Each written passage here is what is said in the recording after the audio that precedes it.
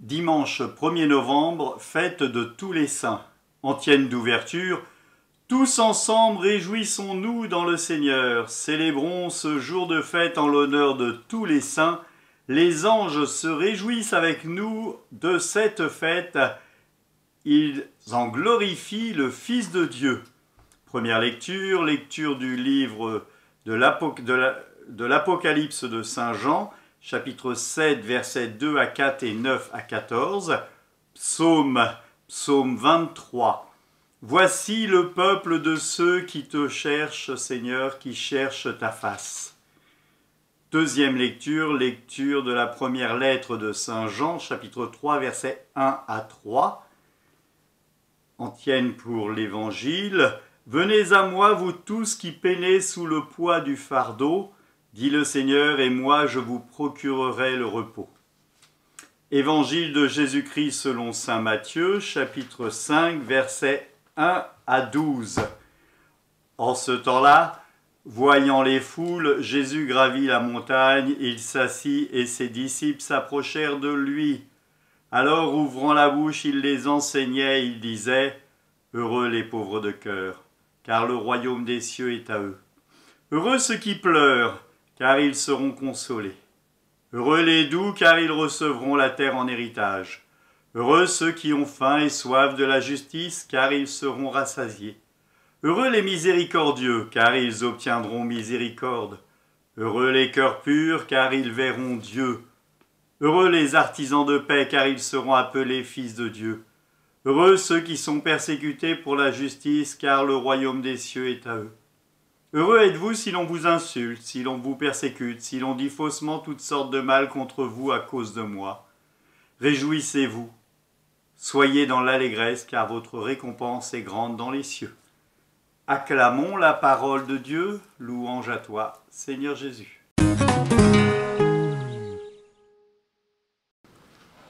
Chers amis, je vous propose une définition de la sainteté. Vous pourrez en avoir d'autres, mais je vous propose la mienne, elle est très brève. Être saint, c'est se laisser traverser par Dieu. Peut-être, frères et sœurs, vous connaissez cette histoire de cet enfant qui visitait avec son père une église euh, un peu comme celle de, Pierre Lay, euh, avec de magnifiques vitraux, euh, en particulier les deux vitraux que nous allons bénir. Et l'enfant demande à son père qui étaient les personnages qu'il voyait représentés sur les vitraux, Jean-Baptiste, celle de Cana, et le père de répondre à son enfant, Eux, mon fils, ce sont les saints. Et l'enfant de répondre aussitôt à son père, alors les saints, ce sont ceux qui laissent passer la lumière. Les maîtres verriers sont là, vous me direz tout à l'heure si j'ai c'est juste. Les saints sont ceux qui laissent passer la lumière. Voilà ce qu'est être saint. Ce n'est pas d'abord être parfait, ce n'est pas atteindre la sainteté à la force du poignet ou à la force de nos mérites, c'est être traversé par Dieu et se laisser traverser par sa lumière. Et les béatitudes que nous venons d'entendre ne disent pas autre chose. Dans ce contexte que j'évoquais au début de cette célébration de, violence, d'inquiétude, avec après ces horribles assassinats tout près de, chez nous ici, d'un enseignant à Erani, de trois fidèles, dont un sacristain qui avait cette mission d'organiser des célébrations, d'accueillir les fidèles, les béatitudes nous provoquent plus que jamais à devenir et à demeurer des artisans de paix. Heureux les doux, heureux les artisans de paix, heureux les artisans de justice, Et la vie des saints et des saintes que nous fêtons, et tout particulièrement les martyrs d'hier et d'aujourd'hui, nous rappelle que les béatitudes ne sont pas seulement des mots ou de belles idées, mais une réalité qui peu à peu transforme le monde. D'ailleurs, elles, ne disent pas, je l'évoquais à l'instant, heureux les parfaits, c'est-à-dire heureux les sans défaut, mais plutôt heureux les pauvres, heureux ceux qui pleurent. Oui, être saint, comme le suggèrent les béatitudes, ce n'est pas avoir obligatoirement toutes les qualités pour réussir dans la vie. C'est s'en remettre radicalement à Dieu, lui qui passe à travers les failles de nos vies souvent imparfaites. On pourrait de ce point de vue ajouter au cortège des béatitudes que nous venons d'entendre une dixième béatitude apocryphe. Celle-là, vous ne la répéterez pas en sortant de cette église, j'ai trouvé ça en préparant l'homélie. Euh, heureux les fêlés, car ils laissent passer la lumière. Les saints, en effet, ne sont pas forcément des gens brillants, mais ils rayonnent. Ils rayonnent de la lumière du Christ. Et c'est contagieux. Une belle et bonne contagion, celle-ci bien plus forte que celle d'un virus. Et voilà que comme les vitraux, les saints sont beaux parce qu'ils sont traversés par la lumière de Dieu. Mais attention, si les saints ont en commun de s'être tous laissés traverser par la lumière de l'Évangile, ils ne se ressemblent pas tous pour autant. En effet, la sainteté ne neutralise pas les talents ou le caractère singulier de chacun. Au contraire, il les déploie. Et voilà que tous ces saints appartenant à une même famille grand cortège des saints, chaque saint est unique. Il y a des saints qui sont drôles comme Philippe Néri, il y a des érudits comme euh, Thomas d'Aquin, il y a des généreux comme Mère Teresa de Calcutta. Allez lire l'histoire de votre saint patron ou de votre sainte patronne. Chaque saint garde sa personnalité unique et singulière. Pourquoi? Parce que être saint, ce n'est rien d'autre que révéler nos charismes que laisse la lumière de Dieu mettre au jour les dons qu'il a déposés en nous. Et si chaque saint garde son caractère unique, singulier, c'est parce que tout simplement les saints sont libres de la belle liberté de Dieu. Ils sont libérés du poids de je ne sais quel destin. Ils ne s'arc-boutent pas contre les événements, mais ils les transforment ils ne se raidissent pas, mais ils rebondissent. Et je suis certain que le Seigneur nous parle à travers ces événements rudes, difficiles, éprouvants. Comment C'est un appel à vivre peut-être l'Église autrement, avec plus de proximité à chacun. Et les semaines, peut-être les longues semaines que nous allons vivre, vont nous inviter à avoir le soin des plus pauvres, des plus fragiles. Le 11 novembre, donc euh, très bientôt, est publié un texte qui s'intitulera, qui s'intitule au pluriel Saisi par la charité. Un appel pour chacun, quel que soit notre état de vie, qu'on soit prêtre évêque, consacré, diacre, euh, euh, fidèle laïque, à avoir soin les uns des autres. Je l'ai dit récemment à une autre occasion, Là, je parle euh, non masqué, mais tout à l'heure, je remettrai le masque. Mais le fait de vous voir masqué fait que je suis beaucoup plus attentif à vos yeux et à vos regards.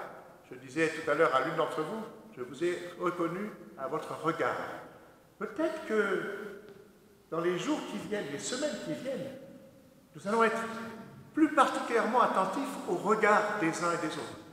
Peut-être les regarder aussi avec le regard que le Christ porte sur chacun. C'est-à-dire, ce chemin de la sainteté, c'est un chemin où on prend soin de notre relation au Christ, pour entrer de plus en plus dans cette intimité, dans cette communion avec le Seigneur, et puis de prendre de plus en plus soin de ceux qui nous entourent. Voilà que la liberté des saints leur donne souvent une attitude, j'allais dire, anticonformiste. ils osent sortir des sentiers battus. Nous aurons dans les semaines qui viennent à oser sortir des sentiers battus pour prendre soin les uns des autres. Je pense à votre saint patron, saint patron de votre paroisse, vu tout à l'heure le baptême du Christ. Il a osé désigner le Christ, comme nous sommes tous appelés à désigner le Christ.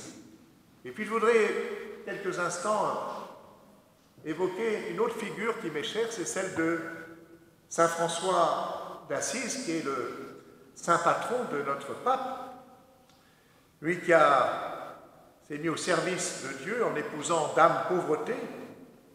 Sa vie a été un dépouillement incessant depuis ce jour où, la première fois, il se met nu devant l'évêque d'Assise et les notables de la ville en déposant ses vêtements aux pieds de son père. Un geste de rupture étonnant. Voilà qu'il rompt avec la richesse, le confort, le luxe qui avait été sa vie jusqu'à ce moment. Et voilà qu'aux yeux de son entourage, François semble avoir perdu la raison.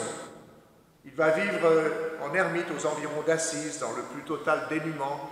Je ne sais pas si l'année dernière, tel ou tel d'entre vous participait à ce pèlerinage nous avons vécu à Assise, sur les pas de Saint François.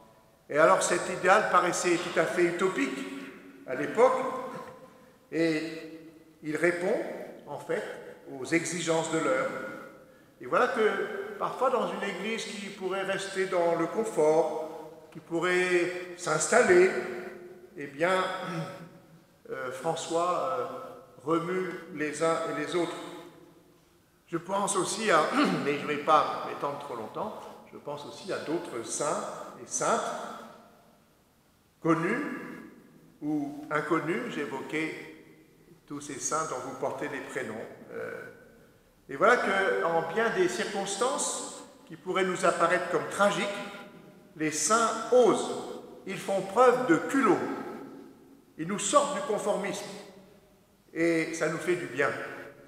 Ils sont libres de se laisser habiter, traverser par Dieu et d'inventer la vie qui va avec. Et vous l'aurez compris, un, si vous n'êtes pas parfait, ceux qui sont parfaits, qu'ils se lèvent. Deux, si vous percevez en vous une certaine singularité à laquelle vous ne voulez surtout pas renoncer parce que vous êtes différent des autres. Trois, si vous êtes un peu anticonformiste, la sainteté est pour vous, comme elle l'a été pour ceux qui nous ont précédés. Voilà que, en vous laissant traverser par Dieu, vous serez des êtres libres, uniques et rayonnants. Et voilà qu'en répondant à son Père, que les saints sont ceux qui se laissent traverser par la lumière, l'enfant se laisse lui-même traverser par la sagesse et la lumière de Dieu. Il ne laisse pas la sainteté sur les vitraux, parce qu'il faut des maîtres verriers pour les, pour créer, euh, les réaliser. Mais elle descend en lui, cette sainteté. Et voilà que les vitraux, et après avoir médité sur euh, cet évangile et sur cette réaction de cet enfant, je crois que je ne regarderai plus les vitraux dans les églises, ici, à la cathédrale, de la même manière, parce que ces vitraux, ils nous provoquent. Alors, à l'image de cet enfant, ne laissons plus seulement la sainteté sur les vitraux, que nous allons bénir, mais laissons-la descendre en nous. Je crois que c'est la belle annonce de la fête de tous les saints. Je profite de cette vidéo pour remercier Monseigneur Lalanne pour l'homélie qu'il nous a offert. Et je profite aussi de cette vidéo pour vous souhaiter à tous et à toutes une bonne fête. C'est la fête de tous les saints. Nous sommes des saints en devenir, mais nous cheminons sur ce chemin Bonne fête à tous, que Dieu vous bénisse tous, le Père, le Fils et le Saint-Esprit. Amen. Prenez soin de vous. Eh bien, nous sommes reconfinés, donc euh, je vous invite fort à vous abonner à la chaîne afin de pouvoir eh bien, être au courant des futures vidéos. Il va y en avoir régulièrement pendant le confinement afin de pouvoir garder notre cœur et notre foi en éveil. À bientôt.